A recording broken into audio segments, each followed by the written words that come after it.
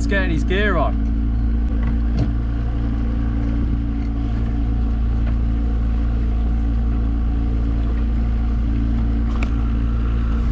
He's filming me.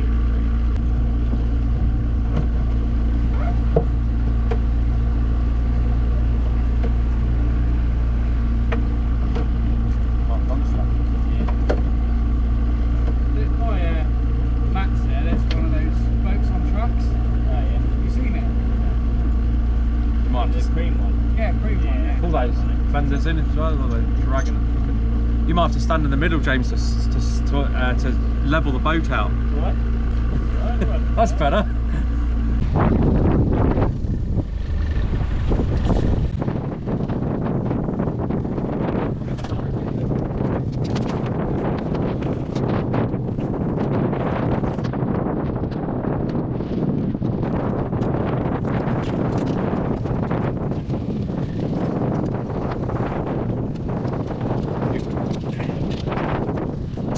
I'll make you want to do the buoy in a second, yeah? Just do that.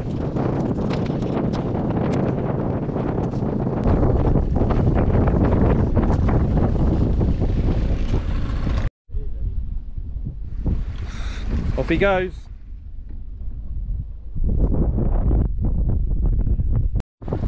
So just playing the waiting game now while uh, Ed's diving it. That's a new uh, Sark boat. So I've been on that. We went for a Sark trip earlier on in the year. And there's Jason there from Inshore Fishing, doing his pots by the look of it. A fair bit of uh, northeasterly wind coming along here, so we're getting pushed along. But we're just keeping an eye on Ed, who's down here, making sure there's no boats coming near him. I'll bring you back when we find out what was uh, hooking them up.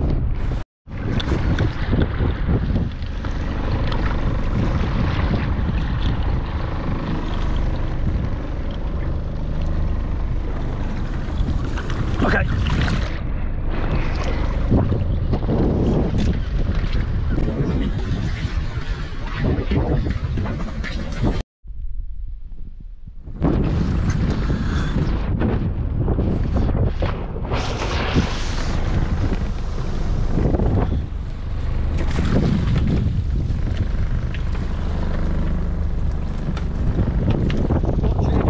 Yeah, it's out of gear. Just feeding him out the uh, string and his uh, dive bag.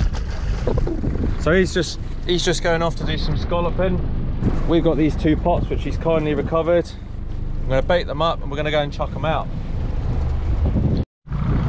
Okay, so apologies for the wind noise again. So Ed's just coming up now. It's probably been down for a good 20, 25 minutes, I suppose. James is just going to steer the boat up to it. Feels weird for me to be uh, a passenger in my own boat, but it's quite nice actually. The wind, eh, James?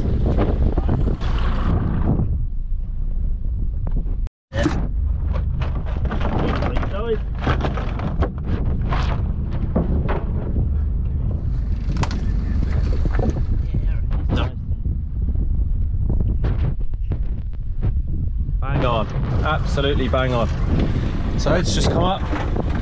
He's got a nice uh, few scallops for his tea, so he's going to start. James is going to start cleaning them through.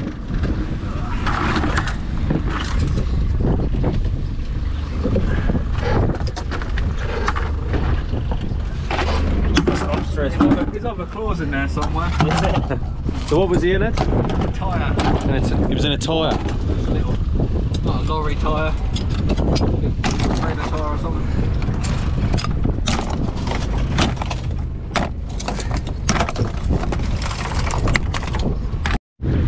So this is Uh, they used to run a ferry service years ago here, but uh, that all got stopped.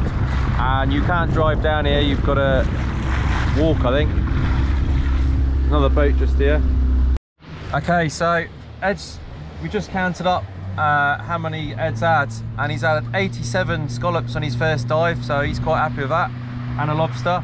So we're now just bobbing around in Fermain. That boat's just going. Ed's got to be out of the water for 45 minutes to an hour, and then he's going to go his second dive, so we're hoping he can get the magic number of 100.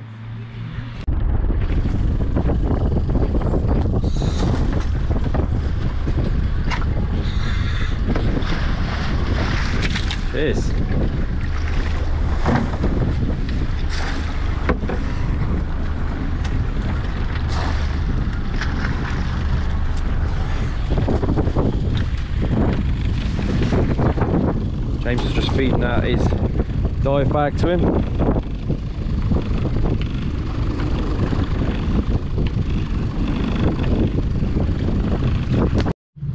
Okay, so you can just see Ed walking off there. He's uh, he's done his deeds for the day.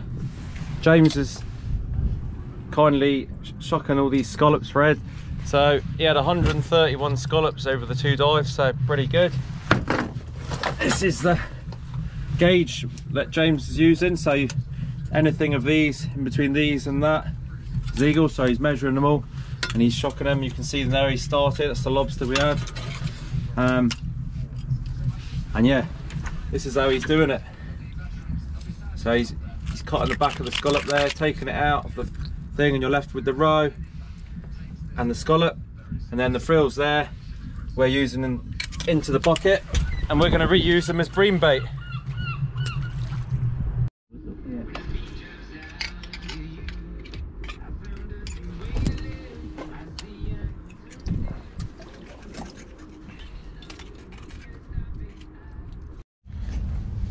I thought I'll give you just a run through of the uh, rod and reel I'm using today. So this is a Shakespeare Sigma bass rod. It's 11 foot 6 and I am using Penn Pursuit uh, 6000 spool reel and I'm using two of those tonight. I'll give you a run through of the other rods when we get it set up. These are the, going to be the Paternoster rigs I'm using. So they're pre-made, 60 pound mainline, 25 pound memory free snood and 2.0 bait holder hooks with some attractor beads as well. The bait I'm going to be using is, as I said to you, lovely ragworm. Absolutely fine bait. Hopefully we can pick up a red mullet or something like that. Um, as I say, I'm only doing the bait fishing today just to uh, have an extra couple of rods in the water. It's predominantly today's to go for the squid. So I'm just waiting for the darkness to settle a bit. As you can see, there's an activity of life here. You've got the Commodore Clipper, which is our freight boat coming in. He's just docked up. By the look of that, that's the Brecqhou boat, I think. And there's a pilot boat coming in here. Some Peterport Lighthouse is just there. Boatworks Plus, which is a boat um, chandlery place, and they do sort of rigging and boat repairs and stuff like that. Easy fishing tonight, straight out the back of the van high water tonight is at six o'clock and it's an 8.8 meter. There you are there's something a bit different. Hopefully you can pick this up on the camera. What they're doing is actually putting that yacht back into the water. So you can see the holes the whole cable it all comes down on cables. This here is a sark venture. It's a sark boat See how far I went, it's quite a long keel bottom.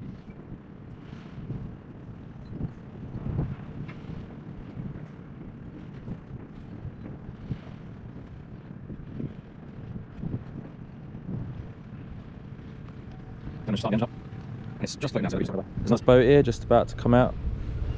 Obviously he's off fishing. Little West Pilot 4, I think. Westport Pilot 4.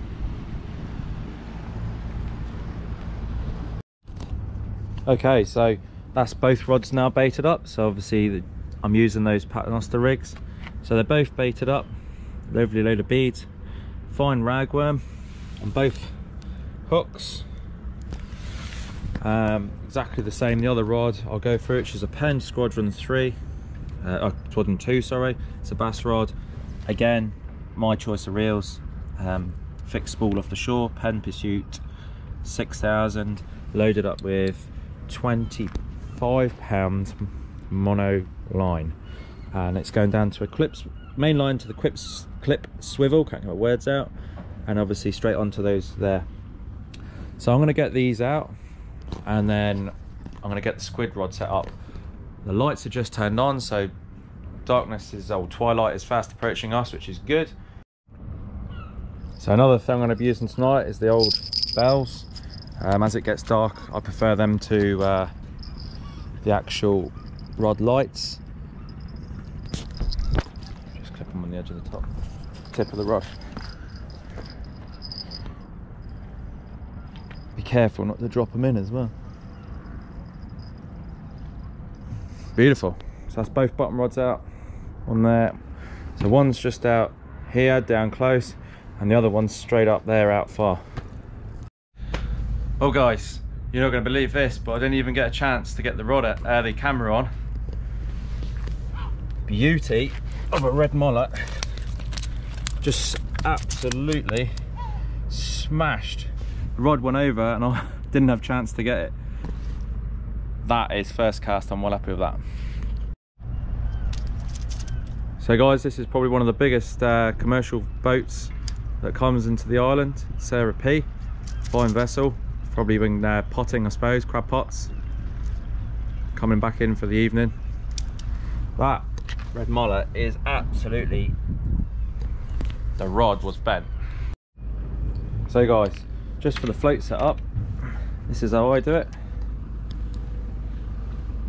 Bead, 25 gram float, bead, one ounce bead, uh, ball weight, bead, down to a swivel, down to a five foot trace, down to my squid jig, and I'm gonna just set the depth and then we'll be ready to cast out.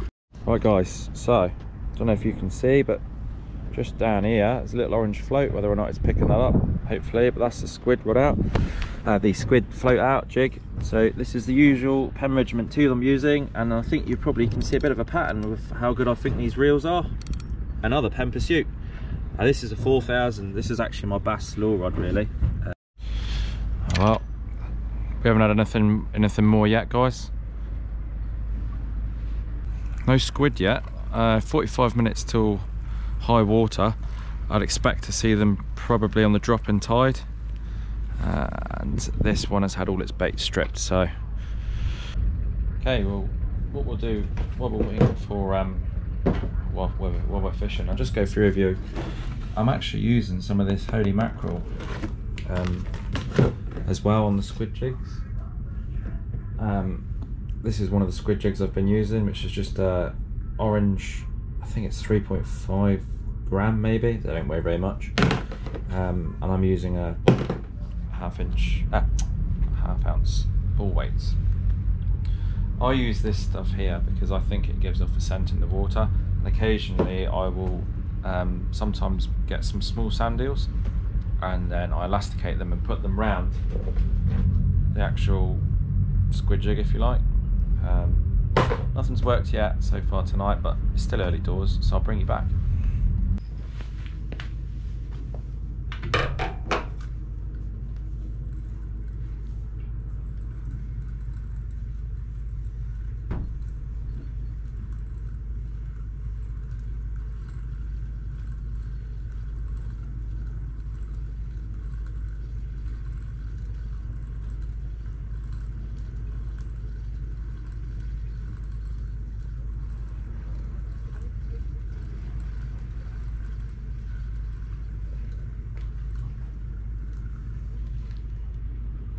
Bait's gone, so we ain't gonna catch anything with that.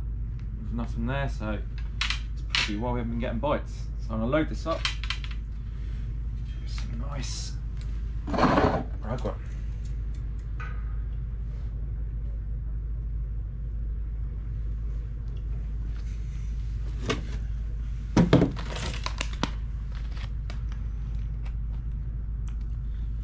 One.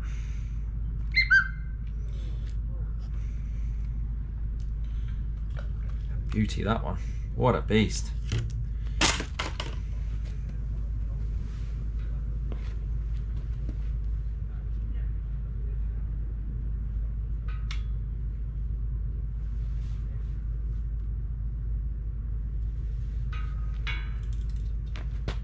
So what I do is I squeeze up by the pincers.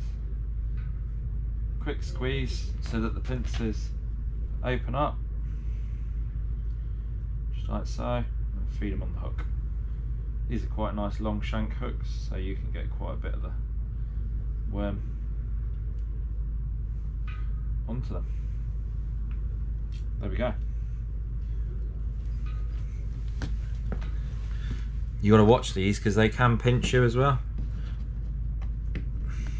They, they, their little pincers come out like that and then they grab hook you in and it bloody hurts. Little cast, and there we go. Lovely tail on it. Okay, I'll get this casted out. You probably see it whistling past the camera. We go like that.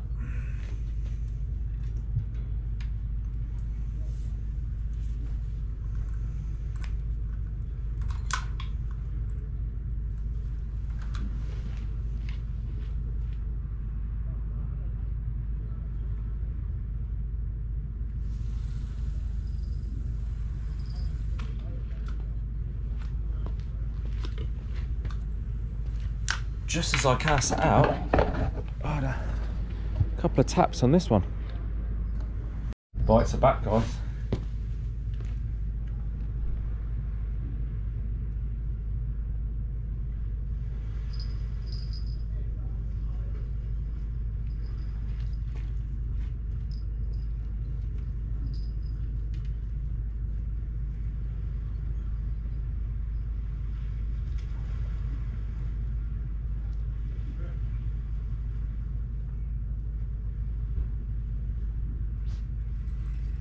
Push on, guys.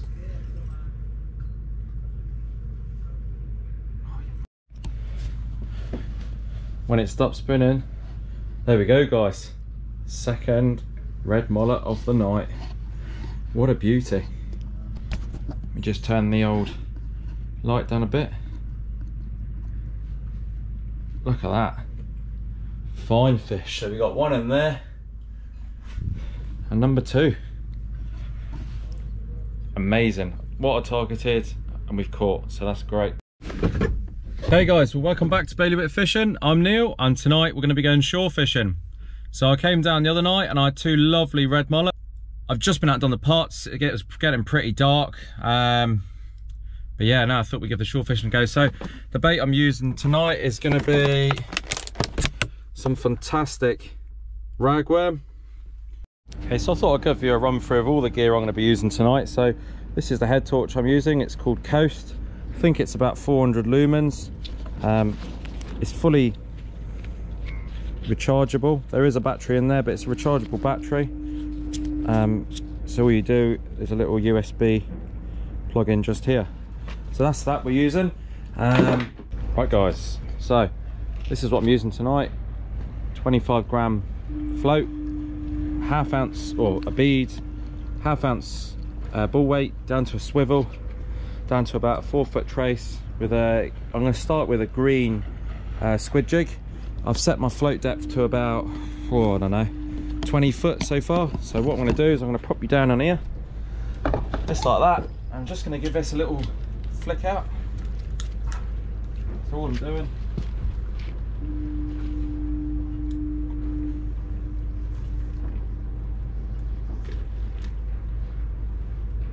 that off. So that's the squid rod out now. Um, just gonna just gonna leave it there. Um, it's right under a light. There's a light. I don't know if you can see, but just above me.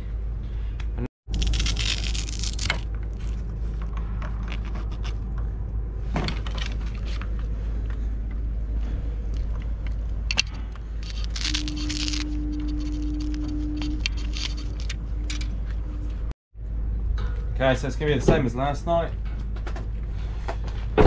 The two hooks.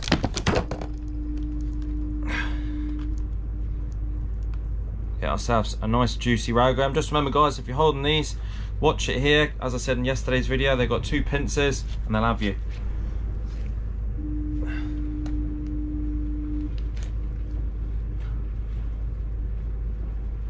So all I do is wait for it to open its pincers and as it goes to swallow slide on the ragworm just like so.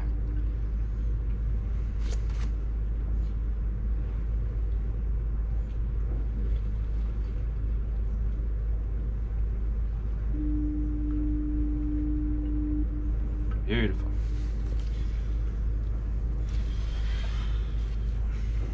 These attractor beads really do look good on the bottom.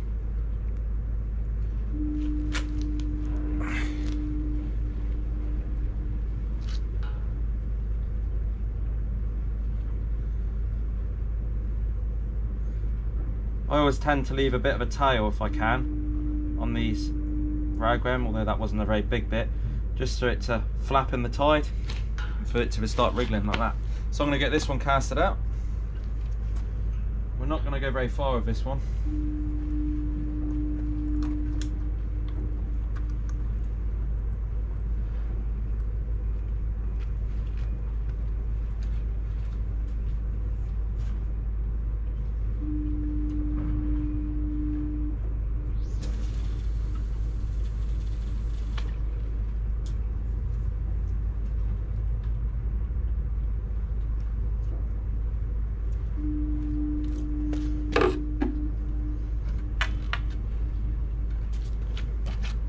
Your hand's a bit close, isn't it? And again, like last night, we're going to use the bells. When it's dark, I prefer these than the actual rod, um, rod lights. So let's just get that tightened up, just like so. We'll get the other one out. Like all true fishermen, as you can see, turn my headlight like that. All true fishermen, when your rods are out, it's time for a cup of coffee. And this is usually, just as you're pouring this, when you get the bites. Beautiful.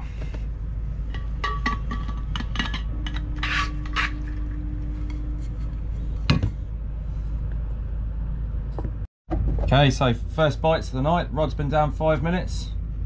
This one just here. A few little taps. There we go again.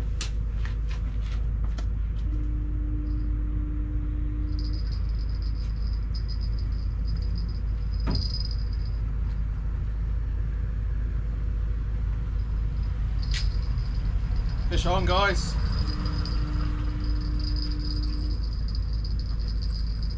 Oh, five minutes and we've got fish on. What is it though? Is it the red mullet?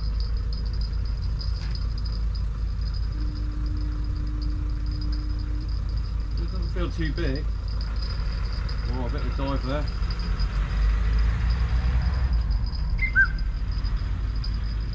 It's a nice bream, I think.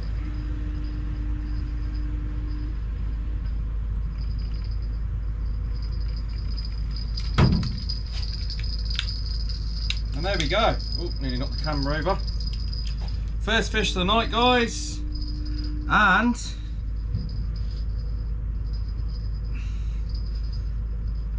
a lovely little bream. There you go. Lovely hook up through the top of the snout. Beautiful little fish. He's going to go back. We don't want him. That's a great start though. Give you one show of him yet, when I can get hold of him nicely. He's just jumping around in the van at the moment. There we go. Fine little bream. Back he goes. And he's gone. Beautiful. Well, may that continue. Blue lights down there, guys. I don't know what's going on. That's uh, the harbour office there, or the harbour um, terminal. God knows.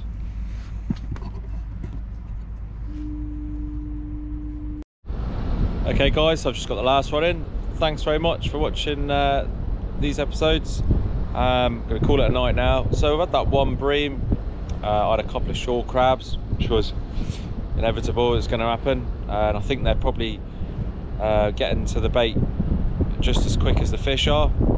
See, the wind's just picked up, and I've noticed that there's a bit, a bit of a chop in the water. Um, you probably hear it on the camera. Again, no squid tonight. You can see there's been some squid here though. There's ink everywhere. Um, but uh, no, not for us tonight. Tides are getting smaller now as well, so that doesn't help. But anyway, we've had two trips and we've caught them both, so you can't beat that. Anyway, if you've enjoyed this, please like and subscribe. It's free, it doesn't cost anything, and uh, I'll hope to hopefully bring you plenty more content to keep you all entertained. See you next time, guys.